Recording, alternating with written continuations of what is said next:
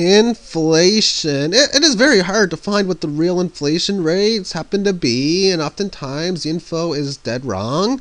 In fact, the inflation rate is different for each individual depending on their spending habits. So you can hear some people claiming that it's 2 3%, and maybe another web page will tell you that it's 6 or 7 and well, again, it depends on the individual. Within this video, I'm going to go over 10 different categories of which uh, you can gauge the inflationary factor and ways you can determine on your end how much inflation there happens to be. So let's get started.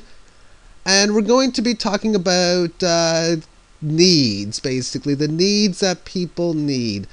The first one is food. So, how much does it cost you for the food? Now, one of the items will not be energy. For energy is used in several of these different categories, but any finished product of food, it's pretty much self explanatory. Any meats, any vegetables, fruit, veg, uh, bread, snacks, whatever it is that you got for accessible food for today would would count as food. Any type of ways of creating food in production form, any type of agriculture equipment, any type of livestock, stuff to make food, a stove or your barbecue, storing food, a freezer, stuff like a blender, your pots and pans, all that type of stuff would be allocated towards food. So whatever it costs today to buy a microwave would be allocated towards the cost. Now, trying to figure how much it costs for uh, pieces of equipment that have many years of a lifespan for food. Well, if you have a product that you buy that lasts 10 years, then an easy way of allocating that is putting 10% per year for the cost. If you buy a stove for $1,000 that lasts 10 years, then that's $100 a year and the energy is used for food as like the electricity cost and propane. So that's the first item of the needs section. The second one is clothing, which is uh, fairly basic. Uh, anything that involves clothes, your shoes, your jacket, your pants, all of that type of stuff is clothing. Don't think I need to go any more depth on that. Number three is healthcare and happiness. And I'm putting the two together because being happy is really what's all about being healthy. So anything to do with medicine, fitness, and even personal hygiene would be placed in this category. So if you're talking about playing sports, you can almost put this in this level as well. Spending quality time that makes one happy, i.e., going to a ball game, could constitute constitute in being happy, which reduces stress. So that is section number three. Number four is education, which is your tuition fees, your books, movies. I got documentary and brackets because if you're doing movies that are completely entertainment, then that would go in either section number three or section number nine. And then, of course, your computer. And then computers can have different forms because I am going to also have computer for another thing that involves uh, communication and television. Again, if you're educating yourself within the television, well, then that would count as well. Number five is shelter. Again, self explanatory. That's your rent or the cost of your home. And the main part of this category is just that. Other examples are like hotel and motel rooms, but Again, pretty self explanatory, as is number six, which is transportation. Your car, your truck, maybe a bicycle, your taxi fees, bus passes, train tickets, all that type of stuff. Anything that gets you from point A to point B. Number seven is communication. Your telephone, your cell phones, uh, as well as internet uh, computers, television, books, as well as video cameras. Number eight is charity.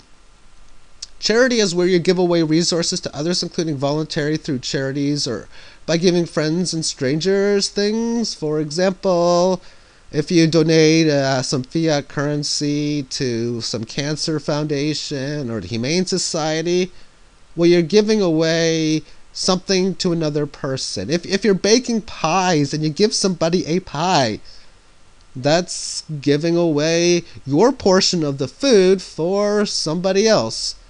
Now, involuntary would be stuff like taxes, useless fees, and interest. And it's totally involuntarily. And you look at something like, say, income tax. You really don't have much of a say in it, for there's nothing else you can do. And if you're looking at uh, sales tax, you could go to a store and say, I refuse to pay taxes, but then they'll refuse to sell you the item. Now, for fees, that depends on the fee. If the fee is used to a particular event, like an internet fee, that would not go towards charities. But if you got these useless, whatever type of fees that you can't find an area, and it would be this, as well as interest as well, because that's fiat currency. That's something that doesn't exist to begin with. And uh, think of something like this: if you're going to a casino and you're winning really, really well, you win a lot of money. Let's just say you happen to be in Canada where it's uh, tax free. Therefore, you uh, win twenty five thousand. You go up with a bunch of people, and then you give your uh, your two or three people that you're with uh, because they didn't do so well, maybe you gave them each a thousand or a couple thousand as part of charity. Well, if you look at casinos in the United States, they don't ask for their portion when you win, they just take it. Number nine is below. And this is wasted items that has its own category. When you blow money, it goes in here. If you buy something that you do not need, well, section three include happiness, and therefore items that don't make you happy or do not fulfill the other eight categories would be included in here.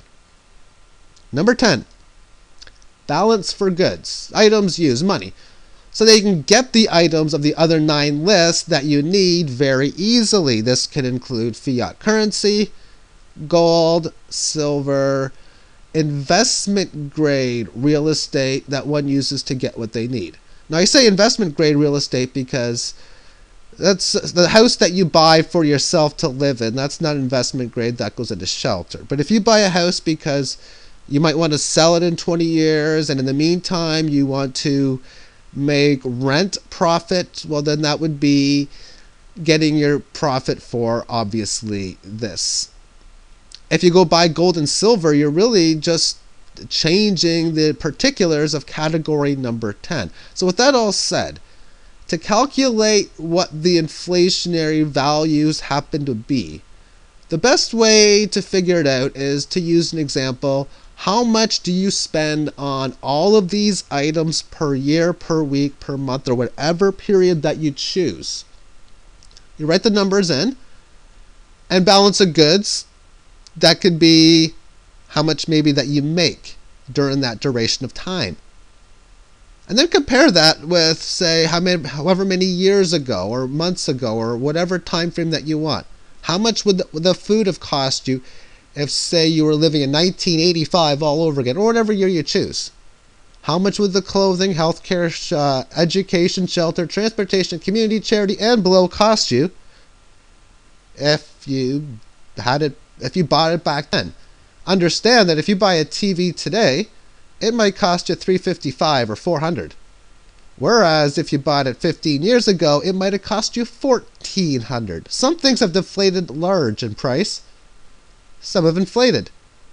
Balance of goods how much did you make back then compared to now? So for example if today the balance of goods that you make is 50,000 for a period and the combination of everything up top is also will say 50,000. Whereas say 20 years ago, if everything cost you say 25,000 to buy, but your balance of goods was 35,000, well inflation has really affected you tremendously, or at least it has affected you. So this is a quick example if you want to look at how much inflation has affected you, you can take a look at almost any item that you see or even a service. And the question is, which of these categories would you put them in? Thank you for tuning in and have yourself a great weekend and great day. Take care.